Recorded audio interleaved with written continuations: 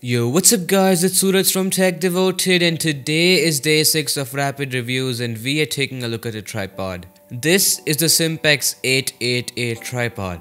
Right off the bat, this tripod comes in at a very affordable 2000 rupees price tag. The tripod comes with this very good quality carry bag and that's always a good thing. Coming to the tripod itself, it's got a decent weight to it and that's always a good sign. It has a safe load capacity of 5 kg, a foldable height of 67 cm and a maximum height of 165 cm.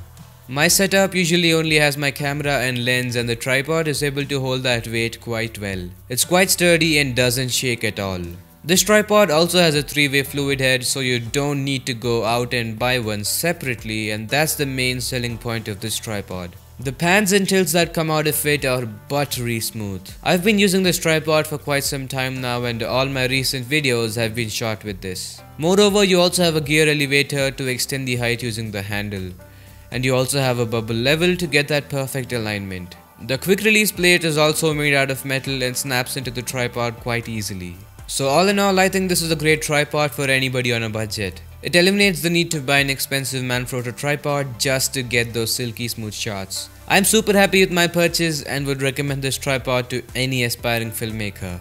But that wraps it up for day 6 of Rapid Reviews. Thanks so much for watching. It's been Suraj and I'll talk to you guys on day 7. Peace.